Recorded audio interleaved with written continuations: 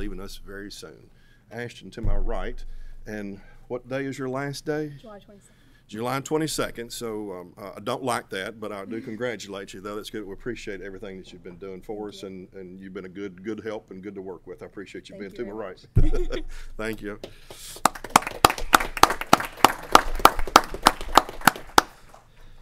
And then I think either communications or law school. Yeah, yeah. Bless your heart. All right. Um, approval of minutes. We have the minutes in the packet. Ent- Entertain a motion for approval. There's a second. All in favor? All opposed? Minutes are approved. We have, oh, do we need a roll on that? Seriously? Call the roll, please. Senator Carroll. Here. Senator Castlen. Senator Douglas. Here. Senator Givens. Senator Kerr. Senator McGarvey. Senator Meredith. Senator Nemes. Senator Webb. Senator West. Representative Bechler. Representative Bentley. Representative Blanton. Representative Bridges. Representative Dossett. Representative Fisher. Here. Representative Fleming. Representative Flood. Representative Fugate. Representative Gentry. Here. Representative Hale. Here. Representative Hart. Here. Representative Hatton. Representative McCool. Here. Representative Nemes. Representative Palumbo. Here. Representative Prunty. Representative Raymond. Here. Representative Reed. Here. Representative Riley. Representative Santoro. Representative Tipton. Here. Representative Willner. Here. Co-Chair McDaniel. Co-Chair Petrie. Here. Now, now we'll entertain a motion on the minutes. And I have a second. All in favor? Ah. All opposed? Minutes are approved. Thank y'all very much. First up, we have on the agenda items, uh, motor fuels, average wholesale price. And I'm going to ask if Perry Nutt, staff economist, legislative economic analysis, LRC, and John Rocker, chief economist, LR, legislative economic analysis, LRC, come to the table. If you will introduce yourselves for the record, please. John Runker, LRC Chief Economist. Perry Nutt, LRC Staff Economist. Each of you raise your right hands. Do you swear or affirm to tell the truth, the whole truth, and nothing but the truth? I do. Thank you. And um, what we're going to do is this. Uh, There's been recent administrative um, action to prevent the implementation of a two cent increase in the motor fuels tax. Uh, I'm not making a statement as to the soundness of the policy decision or not, or the legality or the constitutionality of it, but I think it'd be best if we understood motor fuels tax a little bit and try to understand what the implication and effects are uh, of that action. And to that end, Mr. Nutt, Mr. Ronker have agreed to come in and give us a brief overview of the motor fuels tax in Kentucky and broadly how that two cents plays into our estimates as well as the impacts of it. If two of you will proceed, please. Okay, thank you. Good afternoon, Chairman Petrie, Co-Chair McDaniel, and members of the committee. As we said before, my name is Perry Nutt. I'm an economist with the LRC here. Um, today, I'm going to give you a brief overview of Kentucky Motors fuel stacks. Um, first, I'll talk about the three components of the motor fuels stacks. I'll also discuss the legislative changes that took place in 2015. Uh, we'll review how the motor fuels tax rate and the number of gallons subject to the tax have changed over time. We'll also quickly look at the importance of the motor fuels tax to the road fund. Also provide an overview of how the motor fuels tax receipts are shared with local government entities. And then I'll finish with a review of the statutory conditions relating to the motor fuels tax rate for fiscal year 23. So let's start with a brief look at the, at the motor fuels tax. The motor fuels tax, Kentucky's motor fuels tax has three parts. The excise tax, the supplemental tax, and the P-staff, or the Petroleum Storage Tank Environmental Assurance Fee, which is 1.4 cents per gallon. Now, the excise tax is 9% multiplied by the average wholesale price of gasoline.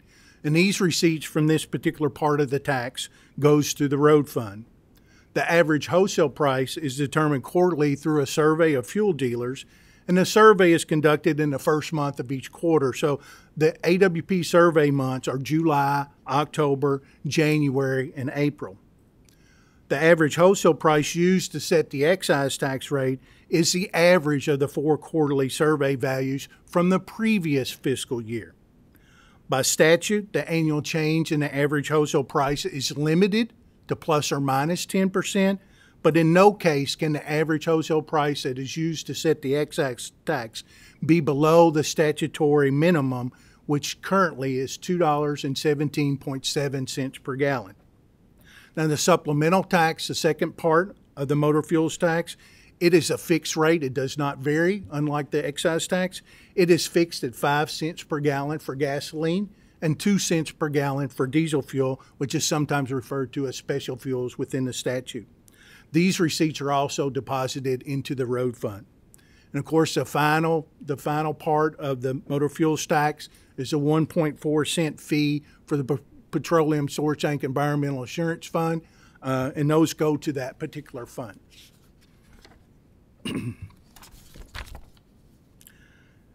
Now, Kentucky's la- the last change to the motor fuels tax occurred with the passage of House Bill 299, which was during the uh, 2015 regular session. Uh, during this during this time, the average wholesale price of gasoline was declining very rapidly, and since at that time the statutes allowed the motor fuels tax to adjust on a quarterly basis, the motor fuels tax was going to decline by 10 cents per gallon during fiscal year 2015.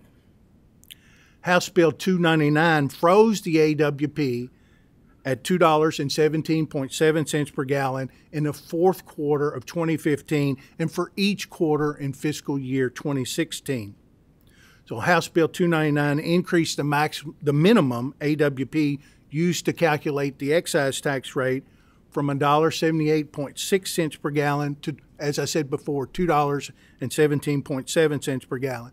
In other words, the minimum excise tax rate was increased from 16.1 cents per gallon to 19.6 cents per gallon.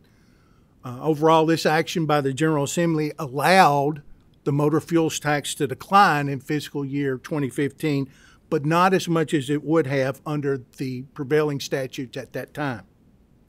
Under the provisions of House Bill 299, after fiscal year 2016, the motor fuels excise tax rate of course, it's been tied to the annual average wholesale price. In other words, prior to 2015 or 2015, prior to the fourth quarter of 2015, you had a quarterly adjustment in the excise tax rate. After that time, you had an annual adjustment, which began in 2017. Since uh, 2017, or from 2016, I'm sorry, through fiscal year 2021, the average wholesale price from the annual survey has been below the minimum AWP. So as a result, the motor fuels excise tax has remained at 19.6 per gallon, and the total motor fuels tax has been held constant at 26 cents per gallon. Just for a moment, that 26 cents per gallon, um, if I'm recalling correctly, we are on the low end of the gas tax or motor fuels tax in Kentucky relative to all adjoining states with the exception of maybe Tennessee, which we probably tie or come close to. Uh, Tennessee currently, as of July 1, is at 27.4 cents per gallon. Um, the only state around us that is below us is Missouri, and they're at 22.4 cents per gallon. Okay, everyone else is higher. Everybody else is higher, and most of the, and the primary reason that they are higher is that uh, four of those states, Illinois, Indiana, Virginia, and West Virginia, all apply a wholesale sales tax to motor fuels sales, whereas we do not. Thank you. Okay, you're welcome. Okay. All right. This next slide just shows the motor fuels tax rate since 2004. Um, prior to 2004, the reason I didn't go back any further is that prior to 2004, there was no change in the motor fuels tax rate because the average wholesale price was below the statutory minimum at that time, which was $1.11 per gallon. Uh, after 2004, the average wholesale price and the motor fuels tax increased by approximately 10% annually or a little more than a penny uh, per gallon per year. You'll see that the motor fuels tax peaked in the first quarter of 2015 at 32 and a half cents per gallon, but fell quickly during the fiscal year, as I said before, as the average wholesale price declined. Uh, in the first, for example, in the first quarter of fiscal year 2015, the average wholesale price, as measured by the survey, was $3.14 per gallon, and by the fourth quarter, it had fallen to $1.44 per gallon.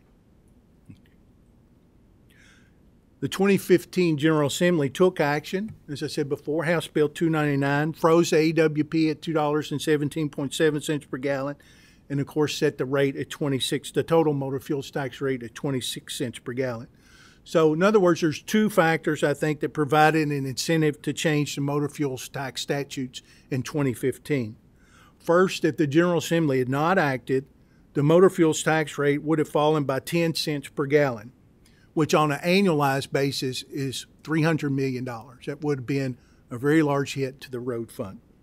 Also, without General Assembly action, since at that time the AWP minimum was $1.78.6 cents per gallon, and AWP increases were limited to 10% on a year over year basis, it, if the rate had fallen to 22 and a half cents under the current statutes in 2015, it would have taken five years to recover, to get back to the 32 and a half cents. So I think those are the two primary reasons why changes were made during that time. So next slide, let's think about motor fuels tax receipts for a minute. Um, motor fuel tax receipts are, are, of course, determined or a function of the motor fuels tax rate and the taxable gallons, or the gallons that are subject to the tax. Uh, the main point I want you to take away from this slide is that taxable gallons are relatively stable. They don't vary much with changes in the price of fuel. You'll see that taxable gallons on average in Kentucky are about 3.1 billion. Um, approximately 70% of that is gasoline sales. 30% of that is diesel sales, so 2.1 billion gallons of gasoline are subject to the tax. About a billion gallons of diesel fuel are subject to the tax. Um, since we sell or we have taxable gallons of, of 3.16 billion gallons a year, a penny of the tax generally yields, on average, $31.6 million. Uh, the thing to remember also, I think, here is that with little variability, in taxable gallons sold each year, and with a constant motor fuels tax rate, uh, there's been modest growth in the motor fuels tax receipts since 2016. Next slide. I'll go through this slide quickly. I just wanted to simply show the total road fund revenue since 1996, along with the two most important components of the road fund. That's the motor fuels tax and the motor vehicle usage tax. You'll see that the growth in the road fund is largely dependent on these two taxes. As the average wholesale price of gasoline increased from 1996 to 2014, motor fuel excise tax increased along with road fund receipts. However, during the recession years of 2009 and, two, and 2010, you'll see that the road fund declined slightly then, and that's because Kentucky motor vehicle sales fell sharply, and that's what contributed to that two-year decline in the road fund during that time. Uh, in 2015, in the fourth quarter, as I said before, the General Assembly froze the motor fuels tax rate at 26 cents, and the rate has not changed since that time. So, with a constant rate, motor fuels tax rate, limited variation in taxable gallons, motor fuels tax collections, as you can see since 2016, been relatively stable, and they average about $756 million per year over the last five years, and the previous high was $886 million in 2014. You'll note the most recent uptick in road fund receipts in fiscal year 21. They actually reached a record of $1.642 billion. That was largely tied to strong growth in the motor vehicle usage tax. Uh, the receipts for the motor vehicle usage tax in fiscal year 21 were $621 million, and that was a, about 20% more than the previous record receipts for that particular tax category, which was $514 million in 2019. On, on current numbers, uh, closing out June the thirtieth, your best estimate, will we meet, fall short of, or exceed the expected revenues to the, to the, uh, road fund? based on 11 months of collections and um, what we're what we are currently seeing, I expect us to be very close on a very very close. Thank you. I think this slide um, just basically provides an overview of how motor fuel tax receipts are allocated. In other words, how they are rev- revenue shared with local government entities. You start with the current 20 cent, 26 cents per gallon tax rate. Uh, there are certain statutory off the top adjustments prior to revenue sharing. Uh, the first adjustment, of course, is a 1.4 cents per gallon that goes to the P staff fund. Then by statute, there's 2.1 cents per gallon that's taken off the top. In other words, it's not revenue shared and it remains in the road fund. After these two deductions, the remaining motor fund tax receipts are revenue shared.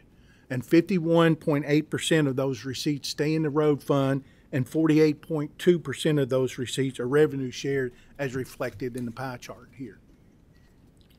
Now, finally, um, let's do a quick review of what happened to the average wholesale price of gasoline in fiscal year 22. Excuse me.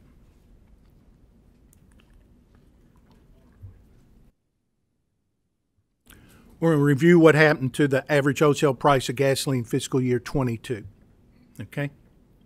Uh, remember, the fiscal year 22 annual average wholesale price determines the motor fuels tax rate in fiscal year 23. Okay, just to Excuse- clarify, anybody that's looking at packets, some of us will have packets that refer to fiscal year twenty twenty-one. They're Oh, probably sorry. printed in blue.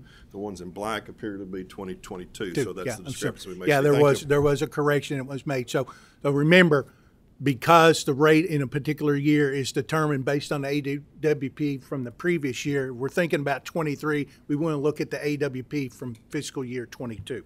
Okay, so it should be, as it is on the slide, fiscal year twenty twenty-two. So remember that the fiscal year 22 annual AWT, AWP determines the motor fuels tax rate in 23 unless it exceeds the maximum AWP that's in statute. So if you look at the four surveys that were taken during those survey months in fiscal year 22, the average is $2.51 per gallon. But the AWP maximum is $2.39.5 per gallon. So the maximum AWP by statute would be used to determine the excise tax rate in fiscal year 23. So the total motor fuels tax rate in fiscal 23, according to statute, would be 21.6 cents per gallon for the excise tax, 5 cents per gallon for the supplemental tax, 1.4 cents per gallon for the P staff fee. That would be 28 cents per gallon, which is 2 cents per gallon higher than or compared to fiscal year 22. However, as the chairman noted early in this meeting, the emergency regulation, which was filed on June 2nd, will keep the motor fuels tax rate at its current level of 26 cents per gallon. So, to kind of review what's the value of that 2 cents per gallon, when we said every penny is $31.6 million on an annualized basis, so two pennies would be about 63.2 63.2 million on an annualized basis. Uh, the estimated road fund loss for half a year would be $16.4 million, and the estimated revenue sharing loss, or the amount uh, not going to local government entities for a half a year, would be be- about $15.2 million. In terms of savings to consumers, you're thinking about both commercial and non commercial purchases of fuels. Consumers obviously will not have to pay the additional two cents, but they will pay the same rate as they are currently paying now. Uh, finally, we were also asked to look at what the elimination of the two cent increase means to commercial purchases of fuels. Uh, that's kind of a hard number to get to. We have limited data in which to answer or to address this issue. Um, our best estimate right now is that approximately 750 million gallons of diesel fuel is for commercial purposes. So our best rough cut estimate is that savings to commercial purchasers would be about seven and a half million dollars for half of a fiscal year. Um, Mr. Chairman, that concludes my comments today. If there's any questions, we'll try and answer. Thank you. One, one real quick, I just want to make sure, I may have missed it.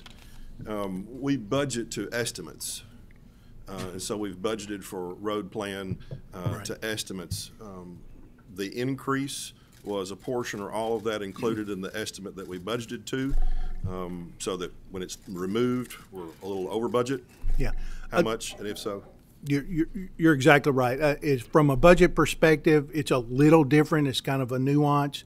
Uh, remember, the uh, uh, general fund and road fund estimates are determined by the uh, consensus forecasting group, which may be modified by actions of the General Assembly.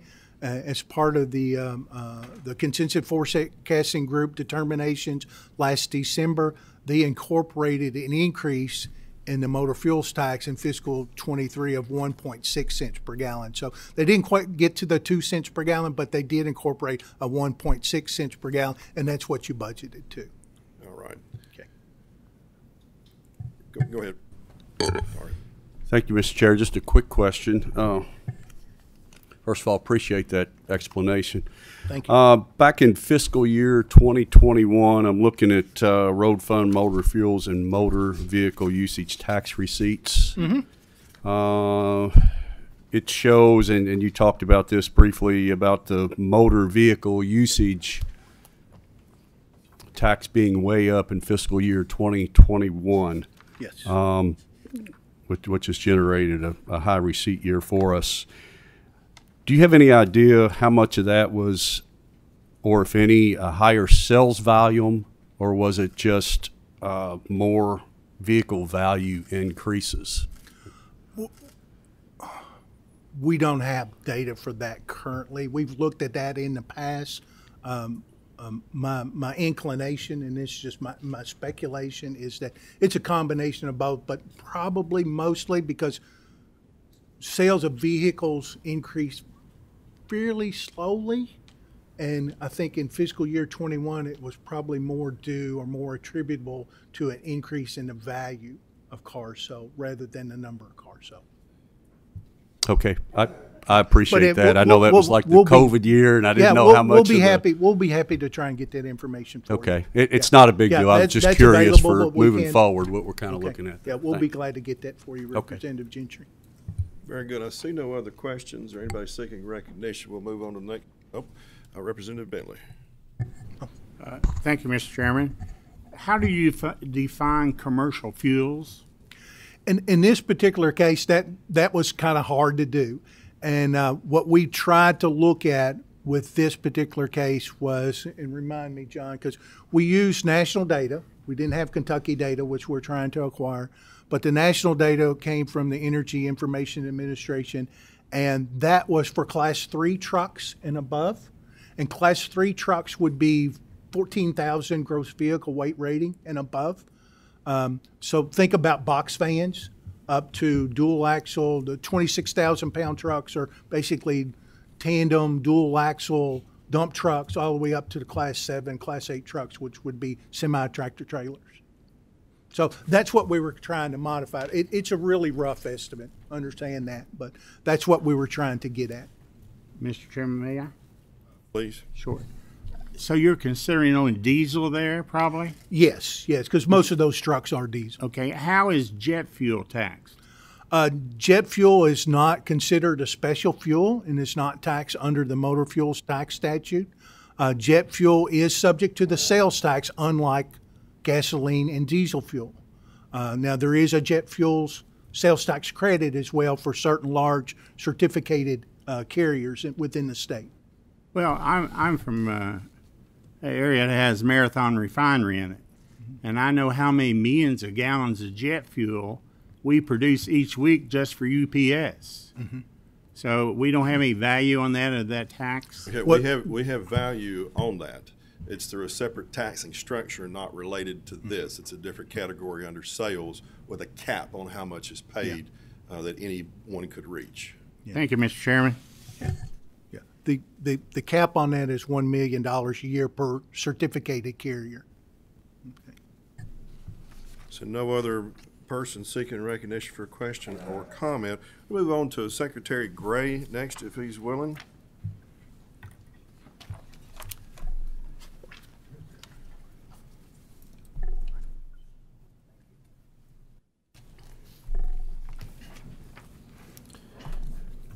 If you'll make sure the green light is on, the Yes, microphone sir. sufficiently close. and Can if you you'll hear me? Introduce yourself for the record. Yes, sir. Thank you, Mr. Chairman. Jim Gray, and I'm Transportation Secretary. If you'll raise your right hand, Yes, sir. you swear or affirm to tell the truth, whole truth, nothing but the truth. I do. Please proceed. You know what the topic is, and, and Yes, you sir. have as much or more information than anybody else on this topic. Please proceed. Well, all right, sir. We'll do my best. I have subject matter experts who can help me whom if I don't. So they're right here with us today as well. I thank you all for giving me the opportunity to join you today. And I look forward to talking about, in general, the price of motor fuels and the road fund, and in particular, how the Kentucky Transportation Cabinet is dealing with it. Now, what I'd like to do is talk about the two cent, the, uh, the suspension of the two cents and its effect. And I'd also like to talk about where we are in the cabinet as it relates to dealing with and addressing efficiently and responsibly the inflation, the inflationary pressures that we're dealing with. Just like in the private sector, we're adjusting and we're adapting. I think we can all agree that these are unusual and extraordinary times. I can say I, I lived through 1981 and 1982 and 1983, and I remember paying 22% interest on a working capital loan. And I remember 13% inflation. So that's what I meant when I said that we've all learned to adjust and adapt. And I'll say about why we're doing it, especially in the cabinet today. Now, as everyone knows, and a part of the reason that we're here today is that Governor Beshear has taken a number of steps to help Kentuckians, in his view, who are struggling in this volatile economy, including activating price gouging laws, trying to prevent a spike in tolls on the bridges in Louisville, which I have vigorously helped him with as well, and suspending an increase in motor vehicle property taxes, and of particular interest here today, suspending or freezing a scheduled 2 cents per gallon increase in the state motor fuels tax. Now, as you heard Ron just describe, the motor fuels tax has not increased in more than seven years. It has been 24.6 cents per gallon of gasoline since April the 1st, 2015. And the governor's suspension would continue, will continue for the next six or seven months, which represents the same as it has been for the past seven years. The governor consulted our cabinet prior to issuing his emergency regulation. And we assured him, and I stated at the time, that suspending the two cent increase would have no material impact on the Transportation Cabinet's budget, nor would it compromise the work that we have planned or that we have in progress, some 1,500 projects across the state, and a $1.7 billion road plan. The estimated impact to the road fund my numbers may be a bit different than Ron's, but we're close. My, the estimated impact to the road fund is 28.2 million through mid-January, according to the state budget director's office. That equates that equals about 1.6% of the enacted road fund revenue estimate for fiscal 2023. Now, to get through this suspension period, the Transportation Cabinet will do what Kentucky families and what all of you all are doing in your businesses where you are. We'll do what Kentucky families are doing all over the Commonwealth. We will adjust and adapt. Now, I know there's a school of thought that a savings of two cents per gallon for consumers isn't worth the funds or the dollars that could be flowing into the road fund.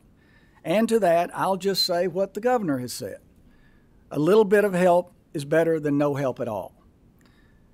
Now, I was here advocating for an increase in motor fuels fee, the gasoline tax myself in 2021.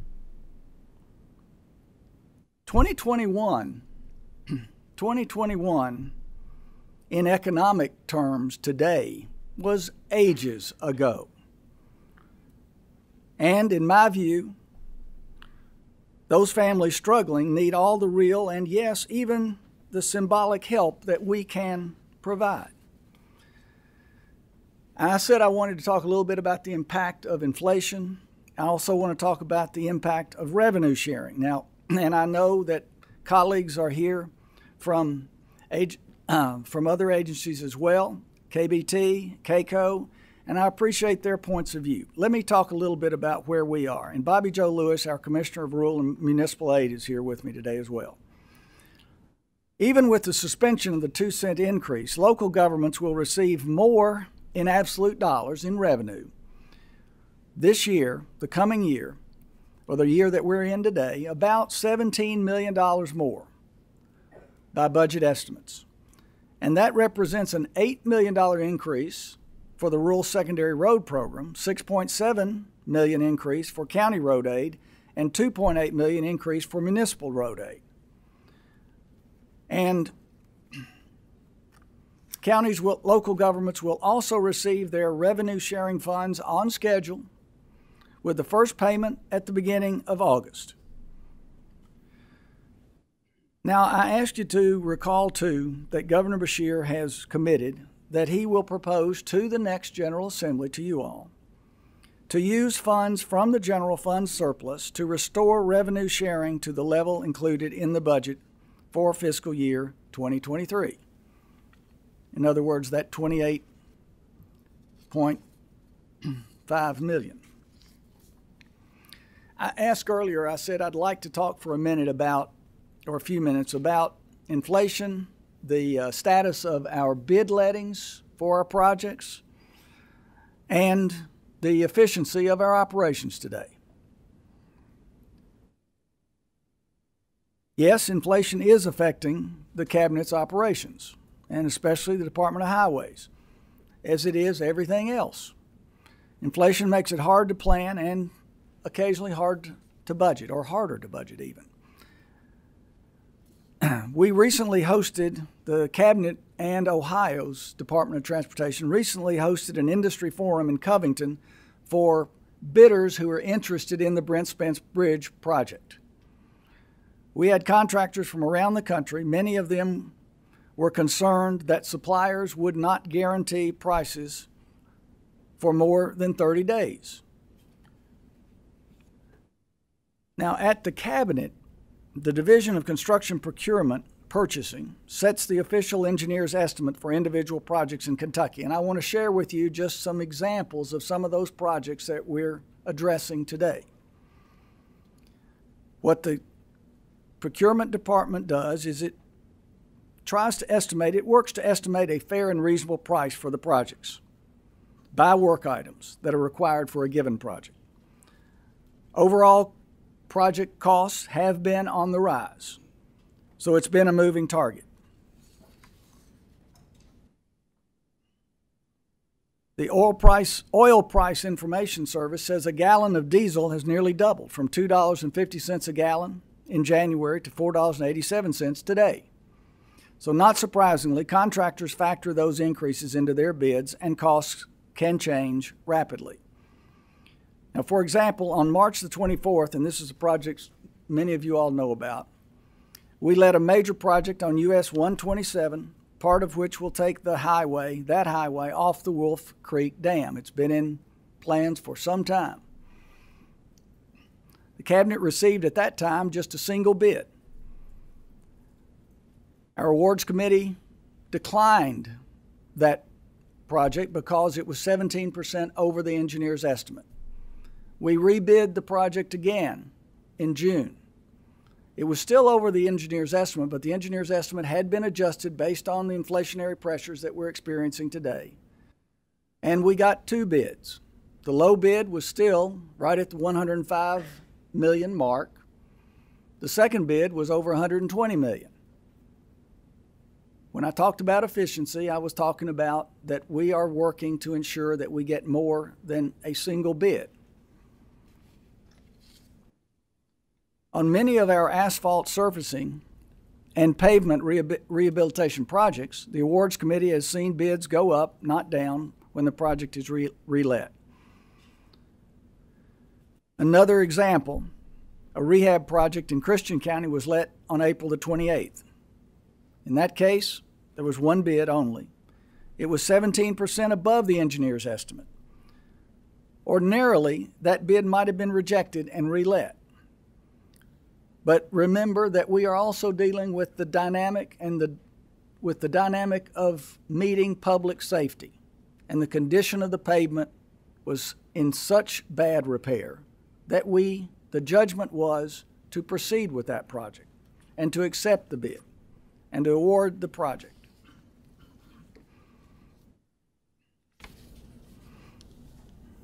I want to talk a minute about something that um, that Senator McDaniel knows a lot about, and that is shortage of supplies. Um, two things here. The cabinet has temporarily modified paint specifications to allow the use of a broader spectrum of colors because of the shortage of paint. A slightly different shade of yellow than we'd normally require. This is just examples of how we're adjusting and, and adapting.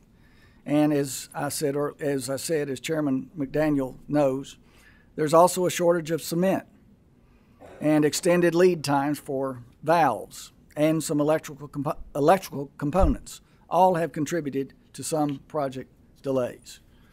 I will say, however, that the the civil industry compared to compared to the buildings industry is experiencing less severe inflationary pressures, not as severe inflationary pressures as the building industry. And perhaps part of that is because there are so many more materials in vertical construction projects, in buildings projects. So we have not seen, or I'm not, we are not as aware of those projects having the equivalent price pressure. That is all to say that we're doing our best to manage these projects efficiently and the full process of letting contracts, estimating, estimating and letting pro- projects within the context of the circumstances that we're dealing with today. So let me wrap up by saying that um, I'm proud that the cabinet topped $1 billion in lettings in calendar year 2021. Uh, this year through May, lettings are at 572 million, and that's putting us on a path to lettings of a billion or perhaps even more for calendar 2022. We're already halfway there. So thank you, Mr. Chairman. I'll take any questions that um, that I can handle. Thank you. Thanks, Secretary Gray. Yes, sir. Representative McCool? Yes, Mr. Chairman, thank you. Secretary, just, uh, just so I understand completely uh, and clarify a previous statement, that all budgeted road fund, funding projects that have been, will be implemented within the road, uh, fund this year. Yes, sir. Anything that's in the, uh, budget this year will be implemented Yes, as, sir. as currently scheduled. Yes, sir. Okay, thank you. There may be some adjustments and now, well, I don't want to, I don't want to condition that. I'm just saying that you know that we know that projects sometimes have phases to them that uh, maybe an engineering phase may take a little bit longer than the original schedule. And so the letting calendar may change a bit, but there is no plan to adjust anything today. Would, would we be notified if there is any changes? Oh, we can do that, absolutely. Thank you. Yes, sir. All right, thank you. Seeing no one else, I've got a, I've got just a general question. Sorry, oh, Representative Nemes, I'm sorry. Thank you, Mr. Chairman. Um, I want to say up front that, Secretary, I think you should be the model of how to run an, uh, a cabinet for any Republican or Democratic administration. I think the way you get back with people, the way you're honest, the way you answer questions, I want to commend you for that on the record. Um, I do want to make sure I, I'm, I'm clear on one thing, and I very much appreciate you saying that it's important even for the symbolic uh, help for Kentuckians. But I want to make sure I get these numbers uh, because I understand politics and I understand symbolism just like anybody else. Yeah. Here's what I understand: um, the road fund, because of the, the freeze, is expected to lose 35 million dollars by January, and if we allow it to go through the through the whole year, it's 60 million dollars. But here's what I want your confirmation on. According to the Federal Highway Administration, the average Kentuckian drives 14,263 miles per year. Divide that by 12, the average Kentuckian drives 1,188 miles per month. If they're saving two cents per gallon, and according to the EPA, the Environmental Protection Agency, um, uh, they say that the average car in 2022 goes 25.7 miles per gallon. Round that down to make it 25 miles per gallon.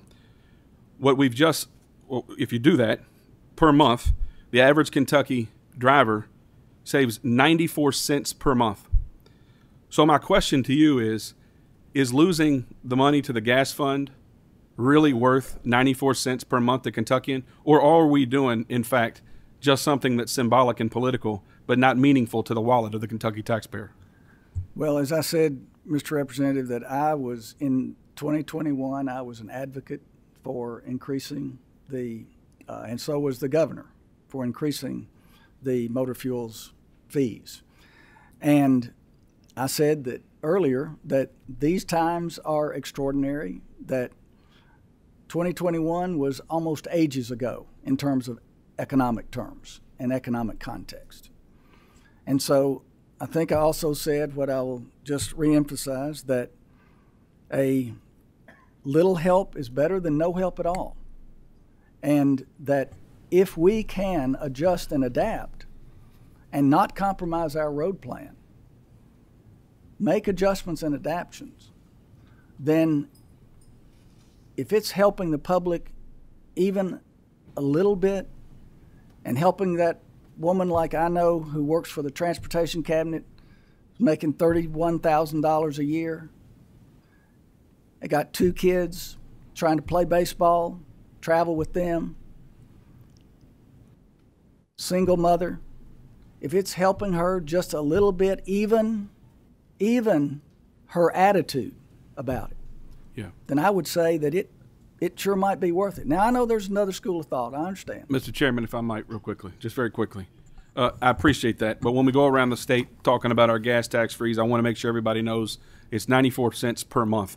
Uh, I would also note that we have, and we've heard a lot of in this committee and in transportation committee about the dilapidated state in which we find our, our bridges, very dangerous areas, um, and, and we find our roads. I would think that, that look, I've got my boys in in swimming and in, uh, in baseball also and I know the, the value of a dollar. And I want to thank you for asking the EPA to get rid of RFG. That's long. It needs to needs to go away. I wish they hadn't said no, but but that mother that you're talking about needs to understand, and we need to educate more that her bridges that she pays for are in a dangerous state.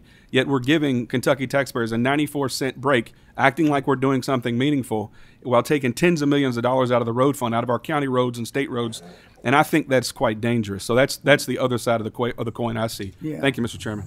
let's let if I may say that Please. let's remember too that we are we will be receiving altogether from the IIJA, the bipartisan infrastructure law, we will be receiving altogether for bridges and highways $210 million a year more for the next five years, which represents about 30% more. And that, that funding itself can be properly uh, properly dedicated to just the projects that, that you're describing. Thank you. I want to pick up on that just for a second. I remember a BR sub that we had last interim when we were real clear about having about $750 million in the hole on maintenance alone, no new projects. And I know that today we've talked about road plan, but maintenance is a different, um, a different animal, a different category. Um, inflation costs going up extraordinarily. Maintenance, $750 million in the hole an actual savings to a Kentuckian of maybe a dollar a month, which is much less than what it would take to repair a vehicle after hitting a bad pothole or a bad bridge or something else. There are two schools of thought about how to approach that.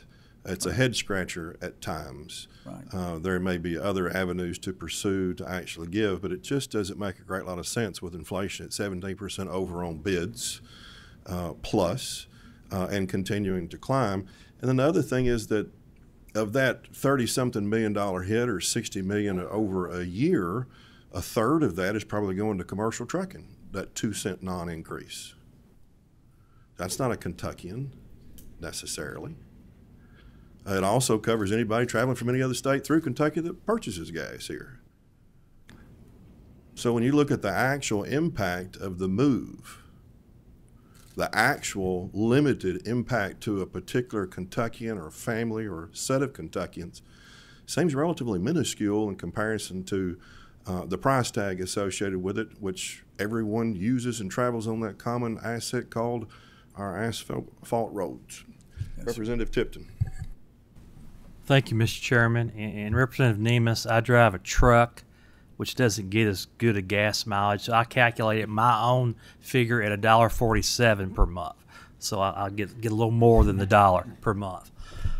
Uh, Secretary Gray, uh, thank you for being here. And, and I, as I understand your comments, the governor's recommendation would be that uh, we supplement this shortcoming for general fund appropriations. And I'll just remind everyone that in this last budget, the General Assembly took unprecedented measures to put general fund dollars already into the road fund. So there would be money there to do a match for these federal dollars coming in. I believe that was a tune of around 250 million uh, dollars. Uh, we also uh, changed policy uh, on where the state police is funded. So we've put a lot of extra general fund dollars that uh, dollars that were a part of the road fund uh, from the general fund to help supplement the road fund. Now we can debate back and forth what's the right way, but the bottom line is these are taxpayer dollars. And, and they want good roads, but they also want pay raises. We need pay raises. So every dollar we take out of general fund to go someplace else is a dollar we could be uh, uh, utilizing somewhere else in the state. The bottom line is, in your role, the governor's role, ours, the General Assembly, we can't do much to impact gasoline prices. Uh, a lot of those are federal issues. There are issues based on international economic thing, issues going on around the world. And, and what we need to do is we need to, uh, my personal opinion is we need to challenge the Biden administration. Uh, let's open up these leases on drilling. We've got the ability to be energy independent in this country. And, and I think it, it's, we, we, need, we need to send the message to Kentucky to, to Washington, D.C that it's time to develop policies that have real, meaningful benefits to our citizens. Thank you. Thank you, Representative Tipton. Next up, we have, I'm sorry, Senator Kerr. Thank you, Mr. Chairman. Welcome, Secretary, Mayor Gray, my forever mayor, I would say. We ran the first time together, both of our first times, I Yes, think. ma'am. Um, I wanted to segue just a little from what was said earlier about uh, the $31,000 a year that the single woman, I believe you said with two children, was making. Because I had actually wanted to bring this up, and that was a perfect segue for me. And I know you may not readily have this information today, but I have six months left in my term. um, and I would like to know, and I'm going to ask this of all the secretaries and people that are in the executive branches and other branches, how many women are employed in executive, well, let's say 50,000 plus. I mean, like this $31,000 lady. Uh, could she be raised? Uh, and how many women in your cabinet make, fif- let's just say $50,000 or more? Would you hmm. know? I don't know that number. Would Senator you Kerr, get it for the absolutely. committee? Yes, ma'am. I would have a feeling that most of these cabinets are probably not represented very well, just as this committee is not. I see two. We, we came out in bright colors today, so we can be recognized. But mm-hmm. on this committee, it's about as uneven as probably it is in many of these cabinets. And uh, Well- I don't know why it is, and a lot of people always blame it on the fact that women don't put themselves up for these positions. But you know what? I kind of doubt that anymore. I kind of doubt that, and I'd like to challenge you as you go forward too. Well, I can say, Senator, and I realize that I work for the administration and, and, and for the governor. Okay, Uh, I, but- I appreciate the question, and I'm hoping he gets the data to you. Okay. But the topic on for today All is right. motor fuels average wholesale Yes, sir. prices. All right. Um, and so the next up is Jimmy Henderson, Executive Director, CEO, Kentucky Association of Counties. If you'll step forward to the table. And if you'll introduce yourself and anyone else that may be speaking. Sure, thank you. I'm Jim Henderson, the Executive Director of the Kentucky Association of Counties. Kayla's probably not going to be speaking, but Kayla Carter is our policy analyst who will be helping me with the very few slides I have. Raise your right hands. Do you swear or affirm to tell the truth, whole truth, and nothing but the truth? Yes. Thank you, and please proceed on the topic. Thank you, Mr. Chairman. I would echo uh, Representative Nemes's comments about uh, Secretary Gray. He's uh, absolutely uh, a great cabinet secretary to work with, and I'm honored to follow him. Uh, thank you, Chairman Petrie, for the invitation. And uh, I was thinking about uh, Joe Friday in the Dragnet series. In what my role here today is just the facts. My, I'm here to uh, give you all information at the chairman's request about the impacts of the uh, uh, gas tax freeze on counties. Let, let me first say um, that I fully understand um, the reality that elected officials uh, feel compelled at times to do something uh, to give relief to folks in what are unprecedented uh, economic times with inflation at 40 year high, energy prices being a major factor. I get it. Uh, like Secretary Gray and uh, each of you on this committee, I've been an elected official, served five terms as county judge, several county judges in the room here today. Uh, we all get the very real political pressure that comes when people are hurting. Uh, in fact, I accidentally stumbled onto a news story last night, not to share particularly with this committee, but just it- it's very coincidental about the the governor's race in Georgia. Uh, I, there was a big story about the uh, uh, Stacey Abrams, who's challenging the incumbent governor uh, Kemp, and, and making a big issue about not acting enough on the gas tax. So an incumbent Republican governor being challenged uh, by a Democrat, obviously, both making a big issue about uh, about this in the campaign. So uh, I, I get it. I understand that this is real. My, my role here is not to be critical of any well-intentioned efforts uh, to provide relief to taxpayers, but it is to urge caution and to give perspective uh, from the county view on what a reduction uh, would mean to counties. I wished I'd included a few pictures I took. I, I got these slides to the committee uh, last week, but over the weekend I took a few pictures back home just to send to my team to kind of show the variance in gas tax uh, or gas uh, gasoline prices. Uh, anybody have a clue what the gas uh, retail gas price is in Simpson County, my home county? No reason you would know.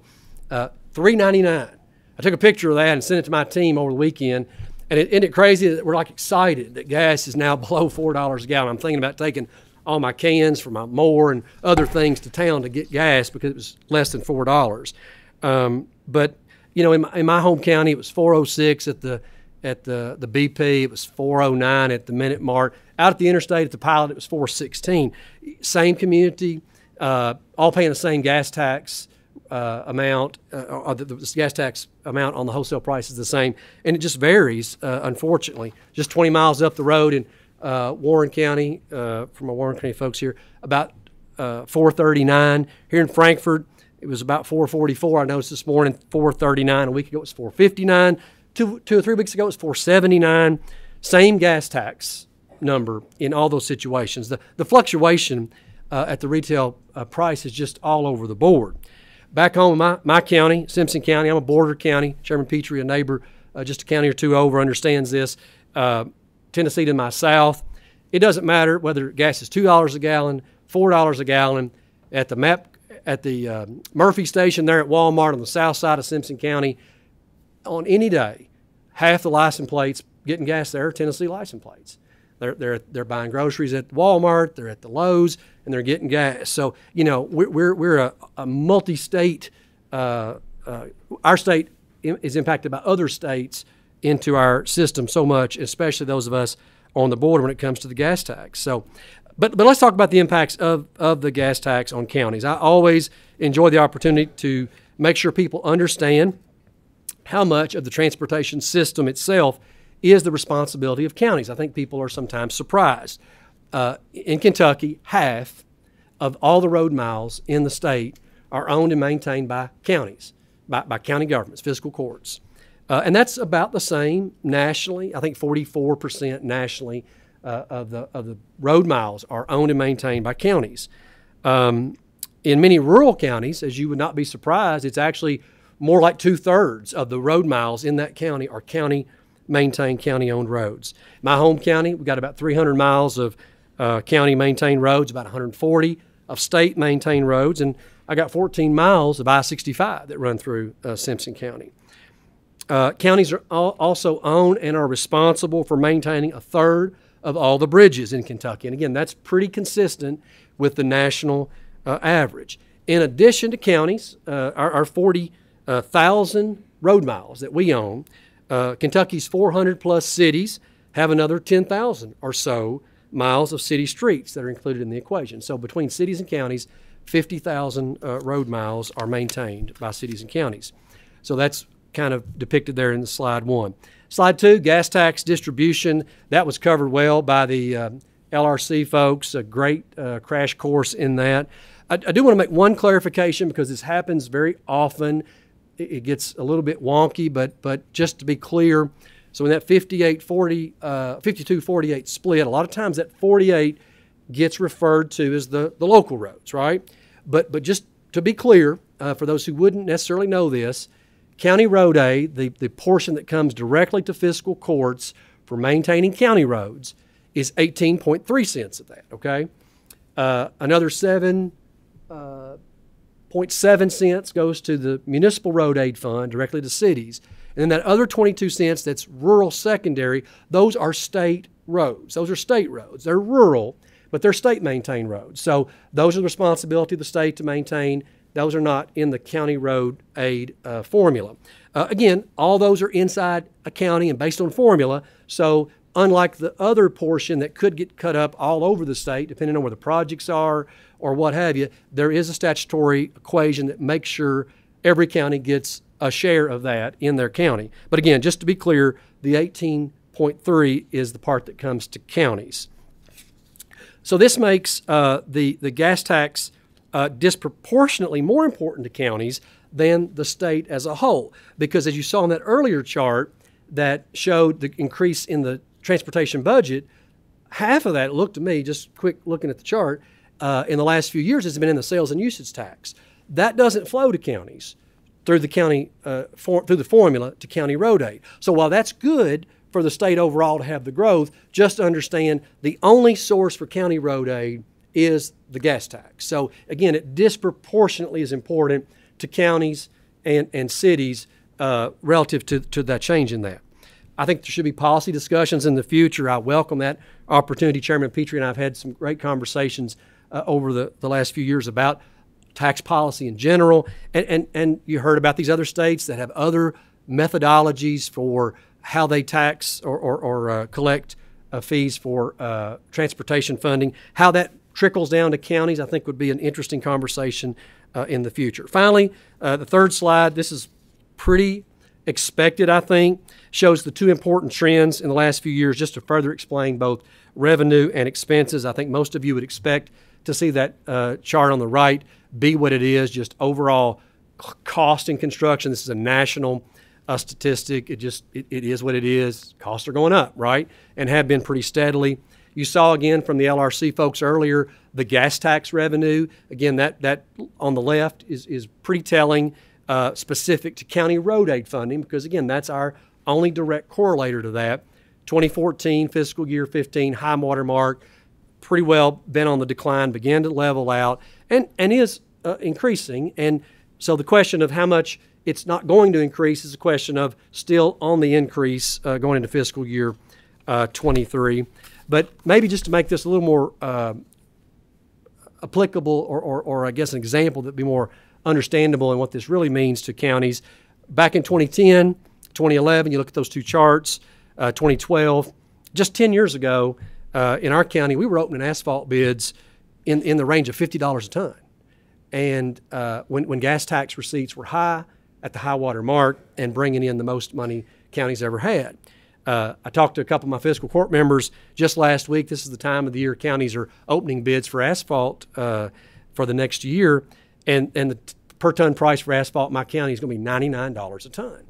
And, and that's the big factor for most counties is you know what's that asphalt bid Pla laid in place it tells that fiscal court how many miles I can blacktop you know resurface whatever it's doubled in 10 years and yet you know gas tax receipts in real dollars not adjusted for inflation uh, are, are still much lower than they were just a few years uh, ago the, the freeze itself equals about $5 million just in the six months uh, that it would be in place uh, just for county road aid and I've included in your packets just informational.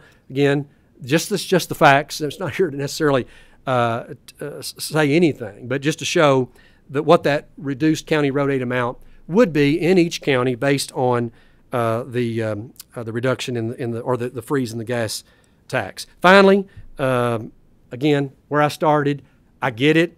Uh, I don't fault any governor, any legislature, any elected leader who wants to do something to show they're trying to help ease the pain at the pump. Again, I get that.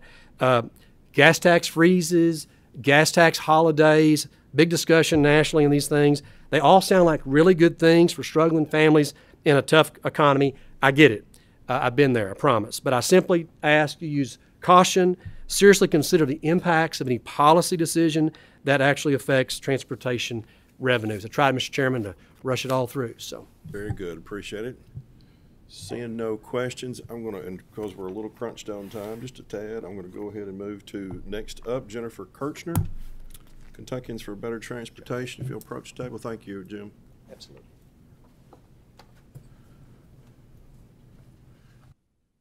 And if you will, make sure there's a mic near you with a green light on. If you'll introduce yourself for the record, then I'll administer the oath. I'm Jennifer. Oh, Jennifer, no. There we go. Got it.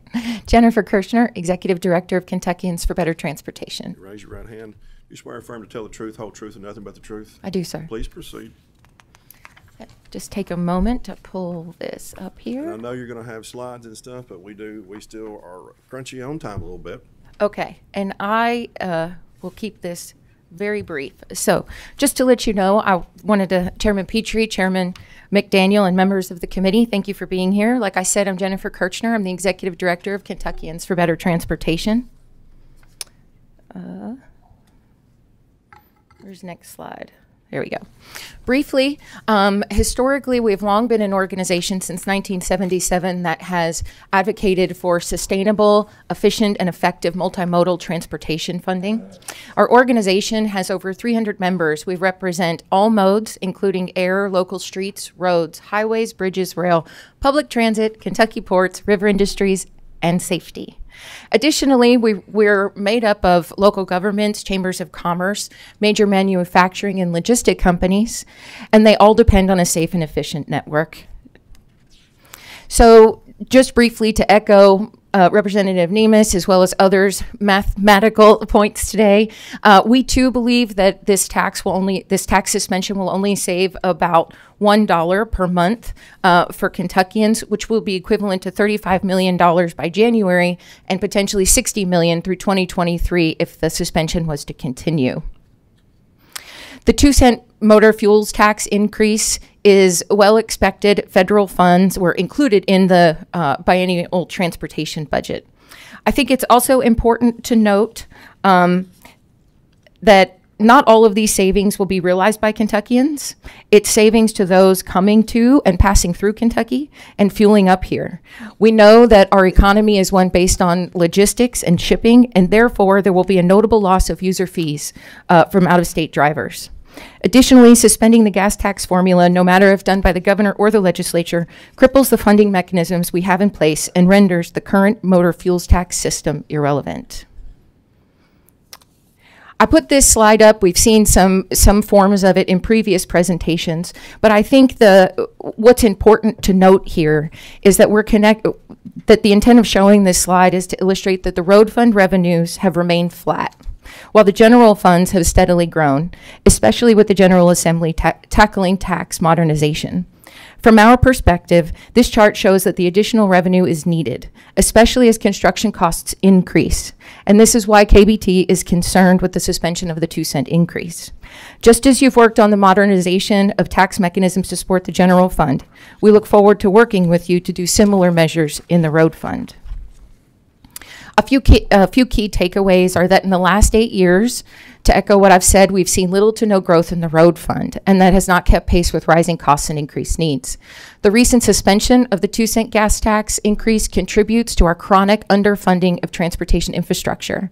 We're committed to, at KBT, we're committed to being your resource and look forward to working with you and all interested parties as we, as we look to modernize our state transportation revenue mechanisms. Um, I, I think that it's important also just to note that we appreciate the work of the General Assembly in addressing EV fees this past session. We remain engaged uh, and active in that conversation, and we welcome looking to the future. Um, I think what this what this really underlies is that whether we agree or disagree about the two cent suspension, we all can agree that the methodology of funding our transportation infrastructure is changing. So we need to understand what what can we do immediately and where do we need to be going long term to account for change in energy sources.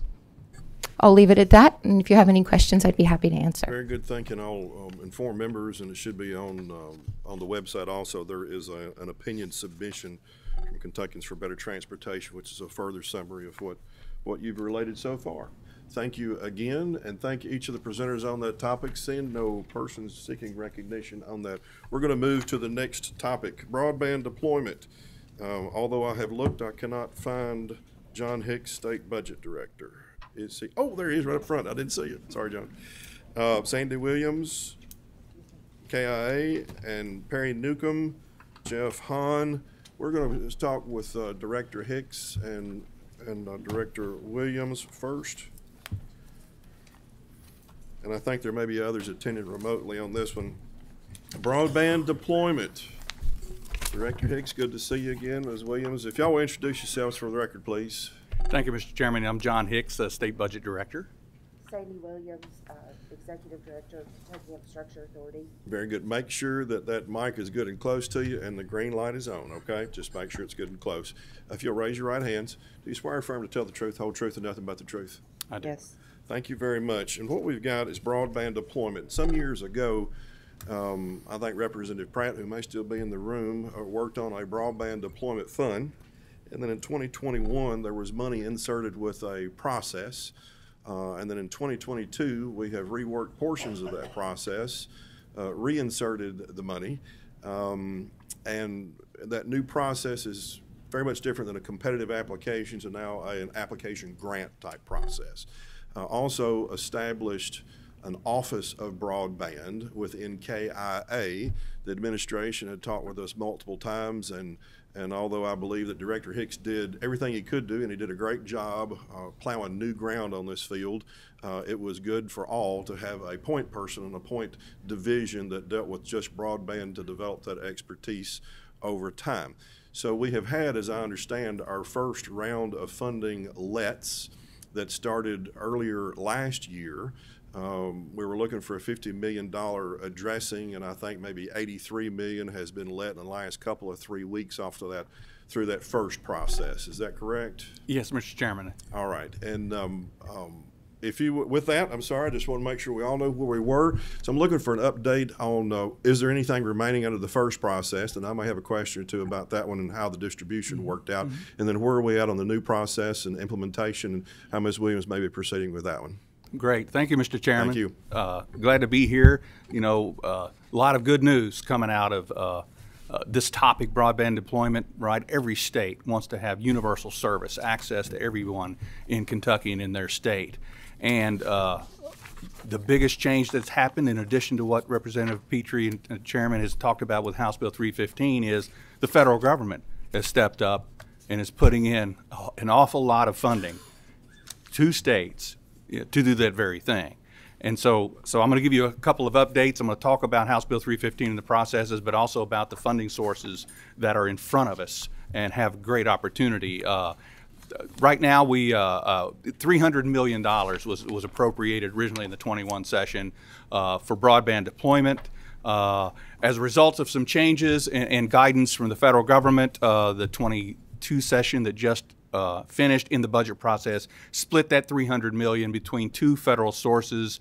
One was the American Rescue Plan State Fiscal Recovery Fund, and the other is the American Rescue Plan's Capital Projects Fund. You can see in, on the slide about 117 million of the first pot and 183 million of the second pot. So how much have we committed? Uh, as, as, the chairman said, we had 47 awards just recently announced, about uh, just under 90 million in grant funding. Uh, one reason it was so many awards is that we put a $5 million uh, cap on an individual award. So we had uh, at least a dozen, a, a dozen awardees comprising the 47 uh, awards, but 204 million in total investment. That incorporates the, the match requirement, at least a 50% match. And might I add that two thirds of the awards incorporated match from fiscal courts, which which really tells you, you know, the the working together process that is going on outside in our counties out in Kentucky. That was wonderful to see. More than 34,000 unserved households and businesses are proposed to be covered by these awards, touching 36 counties. Uh, so with that 89 million, it left that left about 27 and a half million from that first pot of 117 million. Next steps. The Office of Broadband Deployment. Nobody on this earth is more glad that we're creating the Office of Broadband Deployment than, than I. Uh, uh, and uh, I have to send. I, I attended, uh, Mr. Chairman. I attended a, a 38 state a summit uh, that the National Governors Association and NTIA sponsored, uh, and there's a lot of states in a similar situation. They may have had a broadband office for a couple of years, but only a couple of years, and maybe one or two people. And I looked at them. I told them I'm the state budget director, so why am I here? And I said I made sure, with the General Assembly's help, that we got a budget for an office of broadband uh, because you know because those some of those states are really in, in tough situations with that. So next steps, right? We've got that 182.8 million from the Capital Projects Fund. Uh, the application development for the next round of funding is going to incorporate House Bill 315's processes and the requirements of that Capital Projects Fund, and uh, and I'm going to talk about that a little bit, and then and then the big money the Infrastructure Investment and Jobs Act, the broadband program, and then also in House Bill 315, I'll mention a few things about a pole replacement program that, that is to go to unserved broadband areas. Next. So we're searching for the executive director right now, uh, a wide range of duties and responsibilities in the legislation for that. Uh, you know, broad policy, but to administer the broadband deployment fund and provide a single point of contact here at, in Frankfort, develop a statewide plan, uh, very common across the states in the country, to create a strategic plan, a master plan for broadband deployment across. It also aligns with the federal government's requirements on the on the uh, program I'll talk about later. The requirement to have a five-year action plan uh, for a, for the big pot of money at the federal government. So these those two things align.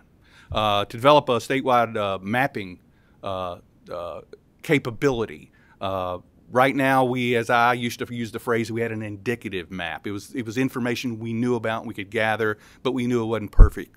The Federal Communications Commission is in the process of gathering more detailed information across from all providers, in addition to any other anybody else who wants to submit data, to create a broadband map to, down to the location specificity and, and served, unserved, underserved in terms of uh, speeds of, of internet uh, available to them. So we know that won't be a perfect step, but it'll be a far bigger improvement uh, across the country in the information on where do we have broadband, where do we not have broadband.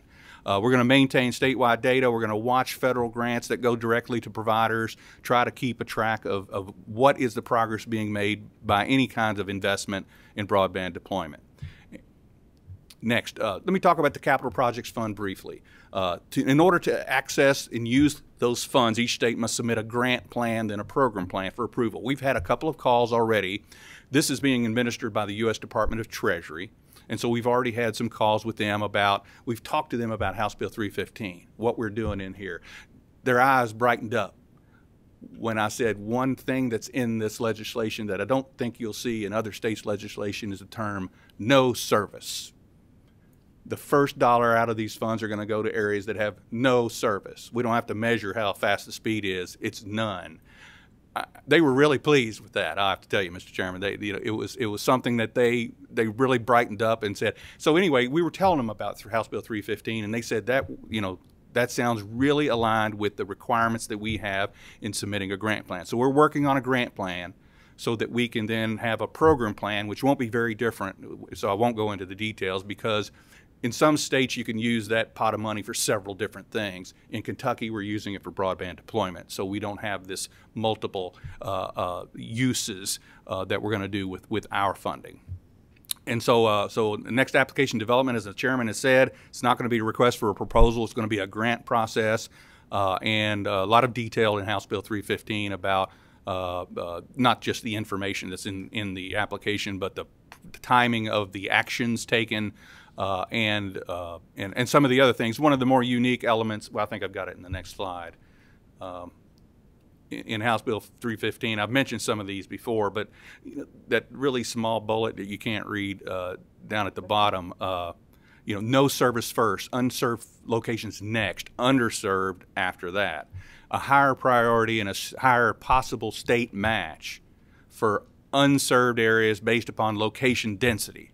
So that was something else. Some of my peers uh, from other states were really interested in that piece of legislation is that there is a rubric for determining low density, you know, areas of, of the Commonwealth, we have plenty, and with them having no service first, that there is a possibility that they can have a higher state share of their grant award because of the high capital costs associated with reaching those outer areas. And so, uh, so some of the other priorities that are in House Bill 3, 315 that follow that, but we're first going to go follow in the next round the no service uh, and and this you know and see how this location density measurement uh, plays out in the next round of, of broadband.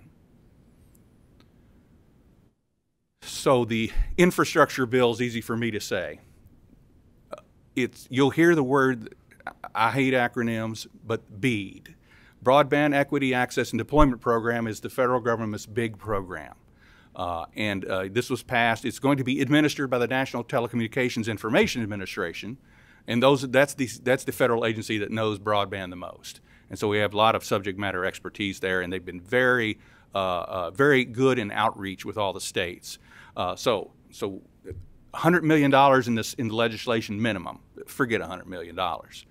We're going to split a 37, I should say billion, uh, dollar uh, pot across all 50 states and territories and, and, and, uh, and tribal lands. an estimate, and it's, these are outside estimates not given by the federal government, says that Kentucky could receive up to $700 million, uh, which, which in this estimate was about 23rd most of the 50 states. Uh, so that, that one, that's wonderful news. The 300 million you've already appropriated, the 700 million possible, there's a billion dollars there to deploy broadband to unserved and underserved areas in Kentucky.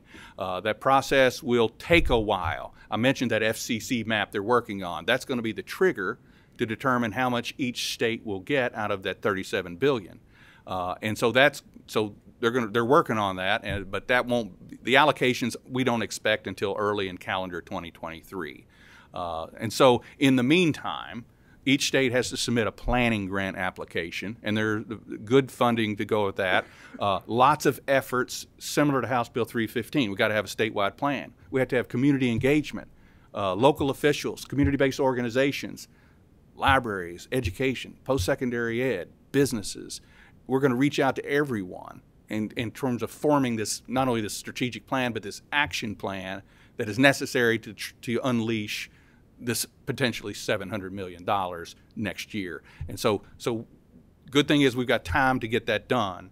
Uh, but I wanted you to know that there's an effort that we will be making out of Frankfort, but with everybody else to uh, engage the, all of the Commonwealth in, in a five-year action plan slash strategic plan for the Commonwealth.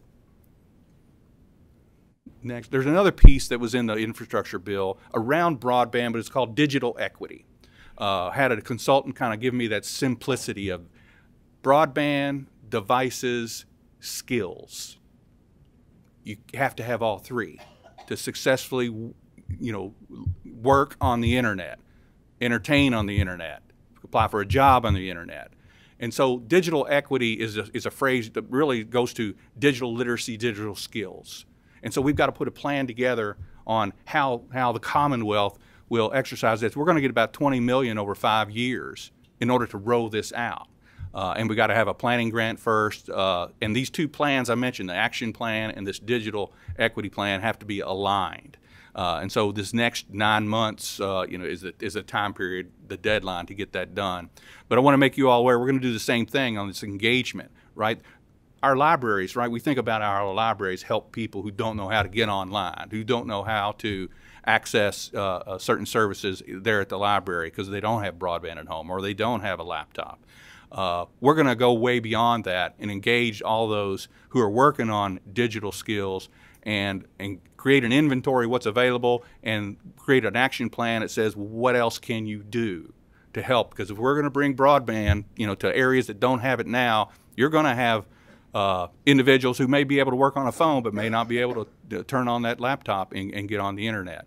Uh, so there are a lot of things that are going to go with that. All positive though. The, the outcome to be not only do you have it, you can use it. Now, uh, in House Bill 315, there's $20 million from the uh, American Rescue Plan Act, State and Fiscal Recovery Fund, called the Rural In Infrastructure Improvement Program.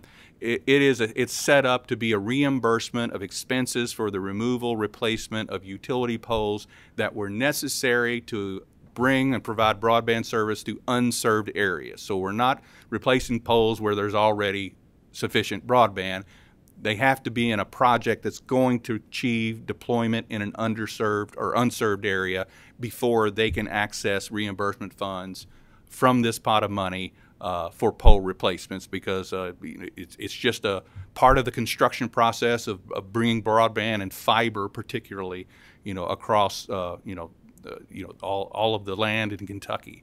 Uh, there are some limits and requirements in there. There's still a matching requirement. Uh, it's kind of a first come, first serve process. An application will have to be available by September 1, and we'll match it up with the requirements of the federal funds that we're using here.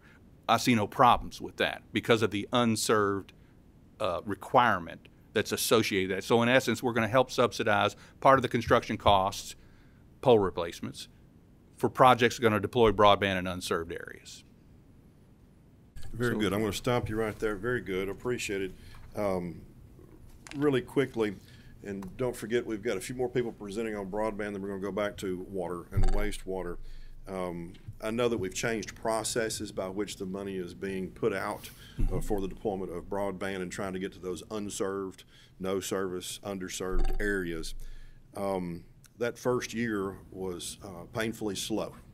I'm hoping that with the Office of Broadband, and I know you and I talked back during session that it will be, it's already ready to go, ramped up, uh, things to do, but you're ready to move forward with that office and utilize it, correct? Yes, we are. Okay, very good. Uh, and I think that application grant process should speed things up tremendously. It will, and also with some of the timelines that are in there about, you know, certain tasks that have to take place within a certain number of days. Good.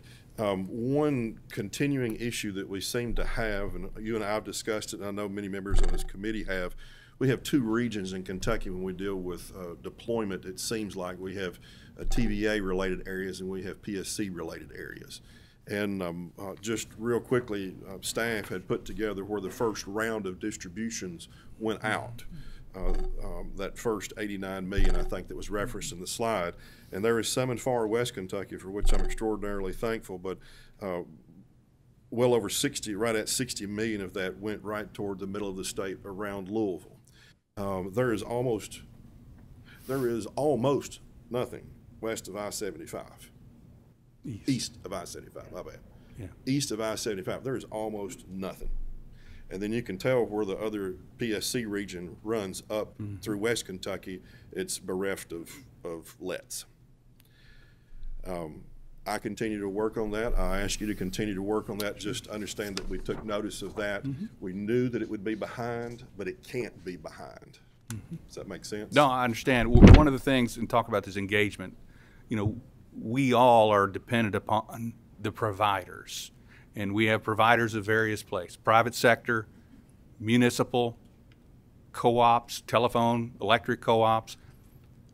They're the ones that are going to have to get this job done. What we're going to try to do is help lower the cost of capital of that deployment. Uh, Yeah, we're all good with that. But but if they don't if they don't come in the front door, right, you, you can't award any funding. Correct, but that may be something we have to work on, and thankfully, I've got two masterminds behind three fifteen and the other bill, Senator Givens and Representative Reed, so they know exactly what's going on, and they've had those same concerns about PSC regions and people who haven't been in the mode of even thinking about broadband deployment because it wasn't available to them. So that's something I'm just showing, when you do a shotgun approach of where the distribution went, there's concern of, okay, we've gotta watch for that. That's right. Now, with that said, I think we have some others. Um, Perry Newcomb, Judge Exec, Jeff Hohn, Kenergy, and maybe some by internet, remote, I'm not sure. Now, I will tell you, we've got about maybe ten minutes or so at best. And then we're gonna switch back over to water and wastewater if, if Director Hicks will come back up at that point. We'll finish out with that topic. We've got a hard stop at two fifty-five, uh, soft stop anytime before that. All right, if you will introduce yourselves for the record, please make sure you got green lights on, microphone's close enough to you. Jeff Hohn. Okay. Jeff Hohn, President and CEO of Kenergy. Brad Schneider, Henderson County Judge Executive. Perry Newcomb, Crittenden County Judge Executive. And Mr. Chairman, if you will me, allow me just a little attitude. Adam Snyder was listed on your agenda, and that was because of a time Yes. conflict with Judge Snyder, and uh, uh, questionable whether he would be here. So Thank you, we Ms. Appreciate pointed you that out to me adjusting. previously, and yes, thank you, thank you for highlighting that. If each of you raise your right hands, do you swear or affirm to tell the truth, whole truth, and nothing but the truth? I do. All right, please proceed. You know what the topic is, and, and uh, so what are your thoughts on it from the county and local perspective? Okay, well, I'll go, I'll go first. Uh, thank you, Mr. Chairman, for inviting us to, to come make a presentation before you. Uh, I'd like to thank the General Assembly for the passage of HB 315. Prior to that, um, we're a PSC regulated utility, so prior to that, we needed to get a CPCN to do what we're looking at doing. Um, since the passage of HB 315, we have received notice from our lender that uh, CPCN is no longer required, and we also got an order from the Commission which states the exact same thing. So we're ready to proceed. Um, we have approximate, we have done some of the engineering, the pre-engineering on the project. Uh, we are ready to do make ready. Um, that's about a $25 million project or part of the project. And once we do finish the make ready, we'll be ready to start construction. Um, with that, um, we serve approximately 59,000 meters in our service territory. Okay, of that, 35,000 are considered either unserved or underserved by the FCC um, maps. So that's about 60% of our membership is considered unserved and or underserved. So for us, the money in HB 315 is, is, is vital to be released because of the fact that um, if we start construction and we go to a place that's considered unserved or underserved, we would not be eligible to get the, the grant money for those projects. So our members would be responsible for paying for that, and we'd be leaving grant money on the table. So we're very, very excited about what Mr. Hicks said, that, and as soon as we can get that money, as soon as the application process becomes available, we will be applying for it and we'll be moving forward. So we're waiting for that as far as construction is concerned. Very good, and I really hate to do this, but Director Hicks, uh, can you just step back to the microphone really quickly? I meant to ask this. You, can stay right where you're at at the table. I just need you to step up so we can hear you. Okay, here's a PSA part of this. So there's a, a local entity out there, government or non, that wants to avail itself of what the legislature and the administration is executing as far as most recent bill and the application process for broadband deployment. To whom do they address their questions, requests, applications? The point person as of this day and this moment is whom? It, would be me on the point person. I'm soon going to hand it off to someone else. But uh, the the trigger mechanisms are are are are working with the U.S. Department of Treasury on the grant plan, and then kind of. Uh, correlated with that will be the development of our grant application. So it's really the development of the grant application is going to be the trigger. We'll put it out and you know broadcast it widely. Uh, but one of the we're, we're trying to we're going to make sure that that application coincides and, and, and complies with the federal guidelines. Is, Very is, good. is the thing. So if someone at the local level today, tomorrow, or the day after, until it changes over to a broadband contact person on the new division to be created. Yes. The new person to be hired on, uh, then Budget Director John Hicks is the person to contact with all questions and all things related to those applications until that process is up fully running. Is that what I understood? Yeah, I'm hoping for simple questions. Very Yeah, good. Do you have Can I a get your business card? Yeah, do you have a card? Want to make sure. Thank you very much. We can find you, know, on the every- website. Every, government email is online. Thank you very much. Be- because that's so important to us is the fact that um, our we're looking at a three-year, three to five-year build-out. So the contractor is going to be putting in 150 to 200 miles a year, and every every day we wait is one more day the members don't get broadband. Understood. Next up. I appreciate your comments over the last uh, five minutes, Chairman Petrie. They're all on target and well known to all of us in Western Kentucky who operate in PSC territories. It's been a slow rollout, and I'd like to point out that it's not just about serving uh, current citizens, which we do want to, but it's also about economic development and growth. Uh, we're a border community. Uh, many people who are looking to locate for various reasons, either urban flight, uh, looking to work in uh, remote uh, locations because they don't have to work in cities anymore. One of their first determinations on where they're going to buy a house is internet availability and speed, beyond sometimes even cost and schools and other things that were more important in the past. And again, we lose potential Kentuckians, we lose homeowners across the river to Evansville and Vanderburgh County in Indiana because they've been able to roll out their internet uh, services faster. So my message here today, especially for rural counties, is urgency. We have a, an electrical co-op with a plan. We're ready to go, and it is a an organization that is governed by local citizens who are elected to the co-op board. So there is oversight. Uh, we're confident we can uh, deploy this uh, new uh, technology quickly, but we are waiting on these grant projects. So I ask all of you to please keep a thumb on this. Uh, please working on it, keep working on it for us, and we will use the money wisely and serve Kentuckians. All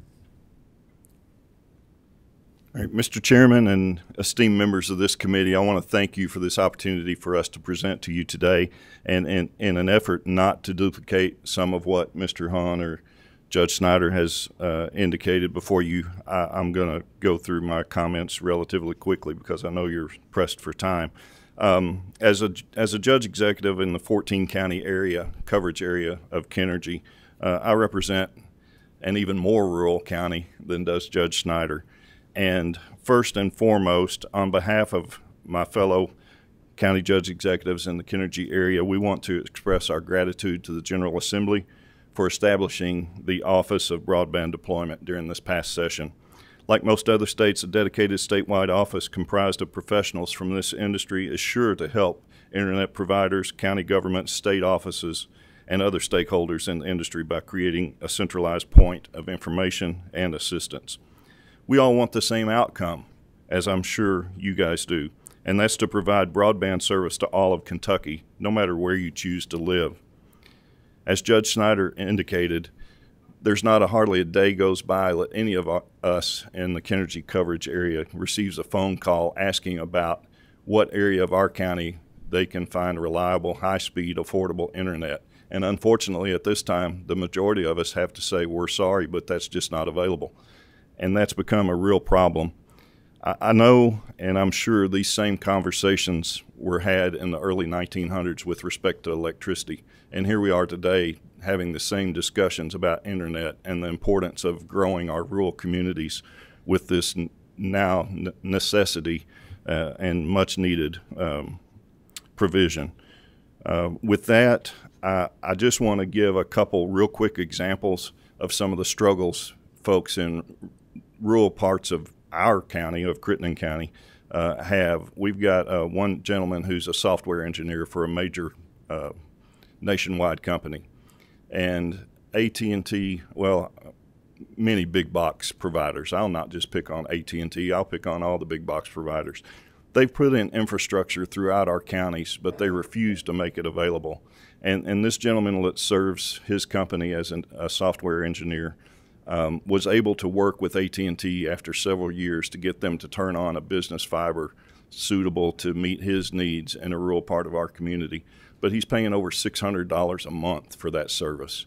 It's a 50 meg by 50 meg service, which is not high speed in today's standards. And um, another situation, we've, we've got a, a, some folks that are artists for Bonefish Grill, and they're paying uh, to get a 25 by 25 service, they would pay over $700 a month uh, to another big box provider. So as you can see, it's an extreme hardship, and you guys know this. We, we know you know this because of the actions you've taken and the appropriations you've made. We just ask that these uh, required uh, standards and, and processes that we need to go through to be able to access the funds that have been appropriated are established as quickly as possible. I, am sure the stand-up of the Office of uh, Broadband Deployment will uh, expedite that process and um, Mr. Hicks, hopefully we won't have to continue to bombard you with requests. We can pass that along to the next gentleman. But I, I thank you for the, your time and, and appreciate all of you. Thank you all very much. I know Representative Raymond had one question. I think Director Hicks may be able to hit that. Um, seeing no one else seeking recognition. Director Hicks, would thank y'all very much. Was there anybody online that needed to speak up? I'm just asking right now. Now, going three, two, one. We're closed. All right, Director Hicks, Ms. Williams, and Representative Raymond, would you ask your question um, quickly and see if Mr. Hicks can answer that if we need to do that outside of the committee? Yes, I just wanted to ask for simple definitions, please, of no service, unserved, and underserved, and that those are FCC definitions, correct? No, they're actually definitions in House Bill 315. Okay. No serve's not defined, but I think we all know what that means. Uh, unserved is uh, 25 meg, 3 meg, download, upload. And then underserved, I've already forgotten. But it, it's, it's more than that, yeah. More than 25.3, sorry. Uh, the federal requirements, though, put the deployment has to meet 100 meg up and 100 meg down. So, so you know, so what we're going to get, hopefully, you know, is access to high-speed internet, no matter whether you're no-served or unserved. Okay, and so, so how do our definitions interact with this FCC map? Are they they're using our definitions in their map of underserved and unserved? No, we're getting to a point now where I think we maybe want to go outside of the committee to dig into that. I hate to say that, but because it's a good question, uh, but we're in the nuts and bolts of that at this point. I really need to make sure we're able to cover, cover the last topic, drinking water and wastewater grant program. This is um, in large part a continuation of an attempts that went out a last session, uh, not the last year. Um, two programs that went out, one with more discretionary across the board, one that was an allocation per county, uh, roughly based on population with an offset. Uh, that second program was re-upped this last session, additional monies put in, and in large part, um, as I recall, there were a lot more applications and requests than money was available per county in the last round. So that's the continuation for this. And if you can speak to what it is, what the need may be in your estimation, how it's going to work, and a PSA part of it of when uh, someone out there with a water or wastewater issue in local government or local entity uh, has a question about what's available, and to whom should they direct their inquiries? All right, I'm, I'm gonna help out Sandy. Uh, yeah, absolutely, Mr. Chairman. Good introduction. Uh, $250 million appropriated by the 21 session out of uh, the American Rescue Plan Act, another 250 million in the 22 session, plus a set of other kind of project-specific uh, funding uh, in addition to that second 250. Um, so uh, 200 million of that first 250 has been committed. 150 million is approved. Uh, 50 million of it, uh, uh, you know, we had other set asides in that first 250 for unserved and, and, federal consent decree areas.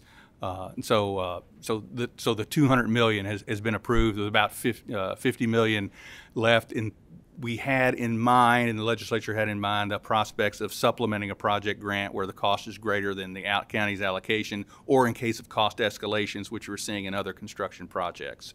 So, uh, very successful rollout of this first round. You know, the Kentucky Infrastructure Authority is a loan uh, program. This is a grant program. They have some small grant programs, but this is the first time we've had major, major funding for grant programs. Um, so, next slide. Yeah, that's all right. Uh, next round, uh, call for projects starting in July. I think it is July, so soon, uh, based on uh, uh, local consensus. And what that means is the, as the chairman said, the allocations have a by county, by population. And so, so the, so the special districts in those locations come together with the local elected officials and, and decide, you know, what are the projects they're going to seek to be awarded from these funds, from the capped amount that they have within their county.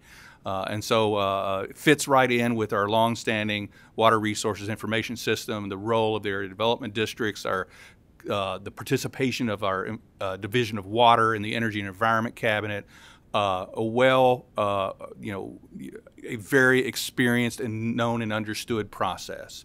Uh, so one of the suggestions, let me go back just a minute, because one of the suggestions that Sandy and her folks at the Infrastructure Authority say that round two funding, uh, you know, suggestion here that would be provided to round one projects that didn't receive full funding in round one before adding new partially funded projects. We're just making available to the counties and the locals that's possible right? They get to choose which projects they're going to seek funding for. And the list of funding availability by county is, uh, is on the KIA website, kia.ky.gov, uh, easily found. Uh, next. And so how, will they apply? They'll use the Water Resource Information System, project profile information as the application.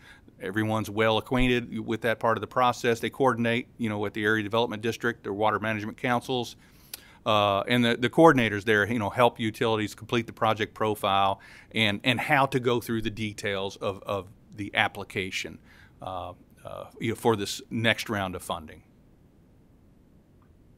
So, uh, you know, working through with the area development districts, communicating with elected officials and utility managers. You know, the governor talks to the county judges and the, and the mayors uh, frequently, at least once a month, and we continue to advertise this this pot of funds and the and the and the availability of them and the purposes of them, uh, and uh, and so then there's a project approval process. That is a kind of a rolling approval process.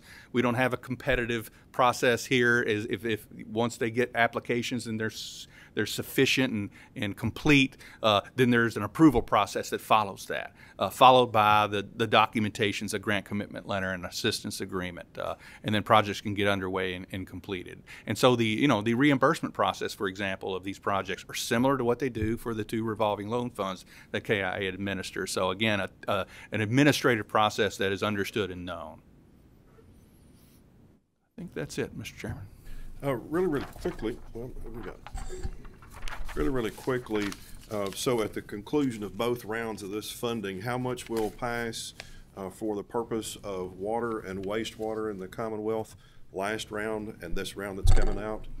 I'm trying to think with those extra projects, it's something like around 540 million And- dollars. And do you have any um, uh, reasonable estimate of how short that will be on target or above and beyond what the needs are in the Commonwealth? I'll yield to the expert to my left.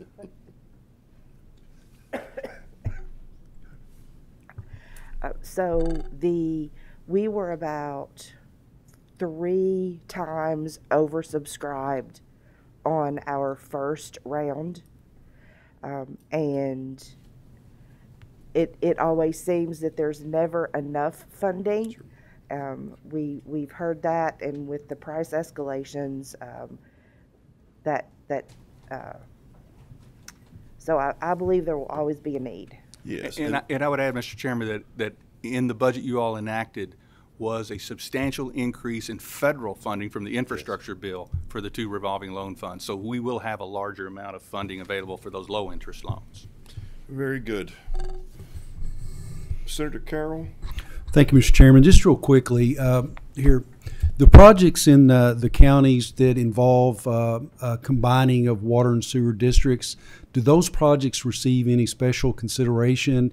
Is is that is that a a goal within uh, this these funding to try to merge some of these uh, services? That's a good question. Regionalization of services is always um, considered, and and we would hope that the utilities would give consideration to that, and when they participate in their water management councils, that's one of the things they discuss. And fin- just real quickly, uh, is there any funding headed down towards Marion to help with the crisis they're having? Let, let me answer that question. You know, the, the Division of Water in the Energy and Environment Cabinet and, and our emergency management uh, operation have been working with local officials in the city of Marion to determine what is the best next step to, to maintain water supply, then what is a permanent step, you know, to, to, to deal with that. And so, so they're kind of engineering right now that first intermediate step, you know, in, in order to enable a water supply for, for Marion. Uh, you know, the, the, the, you know, part of that effort may lead to uh, an, a need for some state funding to deal with that emergency. So while so we haven't gotten to that point yet, Senator Carroll, but we're moving in that direction, which is, and I'll, I'll recount for those of you who remember remember when Wolf Creek Dam was under uh, uh, uh, concern and had to lower the lake. Uh, back then, Governor Fletcher, you know, issued some emergency orders that helped because some of the water districts didn't have, couldn't access their water supply because of the lowering of the lake. And so this is a different but similar situation that we're looking at in terms of assisting them to make sure that they have adequate water. Representative McCool. Thank you, Mr. Chairman. Uh, thank you for being here today. I'll, I'll try to be as brief as I can. You know, in my area, we have some uh, uh, folks who do not have good, uh, clean drinking water, and they're paying a pretty high price for that. But in addition to that, I wanted to, uh, you know, there's an area that, that's really, and I, I see you're about uh, coordinate with the area, you know, area development districts and elected officials, which is their county judges and utility managements. But I have an area that's in Martin County that it's really they need a they, they take a token to drive down to get water. Now they pay for those tokens, as I understand that, and they drive down to get water to bring back to their home. Now they could have service of water if they could get the water from uh, Johnson County, but at the same time they, they they need a pump there to send it over across the. So you have there, and they're all good. The, the elected officials there, the county judges, the uh, uh, the water district uh, committees are very good. Uh, somebody needs to grab the bull by the horn and say, okay, this is how we're going to fix this problem. We know what you need. If it's being a pump that we'll write a grant for it, doesn't matter who gets it, as long as the people get uh, drinking water. And, and right now we have some uh, dire need, and in, in certainly in Martin County and parts of Pike County that does not have water. So we're talking about broadband, all those services, they need those too. But we're talking about just regular drinking water that we take so much for granted. And th those folks don't have that. Thank you, Mr. Chair. Very good. Thank you. Anything else? No, sir. Hey, thank y'all very much. I look forward to great things. Uh, I think everybody understands that uh, now, now, now as fast as we can, and that's like everything else, but this one in particular for today. Thank y'all very much. Thank you. Uh, would encourage everyone to review the correspondence from Jenny Bannister, uh, Deputy Director. Uh, those are in your packet. Interim allotment adjustments, interim emergency appropriation increases, interim appropriation revisions for the first quarter of 2023. It is invigorating and inspiring reading. I would encourage everyone to partake of it fully. Uh, there are a list of reports received since June 2022. Looks like our next meeting is currently scheduled for August 17, 2022, and Senator Chris McDaniel will have the chair that day. We'll have a great meeting ahead of us. Last but not least is this. Uh, a packet was handed out to you uh, from Kentucky Personnel Cabinet that was presented uh, this morning at a budget review subcommittee involving personnel. Uh, this is um, a culmination of efforts since July 7th of 2022 to address personnel salary schedules and compaction and compression issues. And this is the first attempt at uh, addressing the issue. As you recall, there was a raise granted to um, uh, state employees this last budget cycle with anticipation of where are we uh, report and analysis data, how do we adjust and what actions do we need to take in the future. This is at least a first step to get us toward that analysis and I've already sent an invitation to the personnel cabinet and others uh, to meet with me in the next 14 days and as well as Senator McDaniel and anyone else that's uh, on board, uh, Senator Nemes. Um, and make sure that we all know how we're moving forward to deal with personnel. So that is for your um, information purposes and records. Anyone else? All is well. We are adjourned. Thank y'all.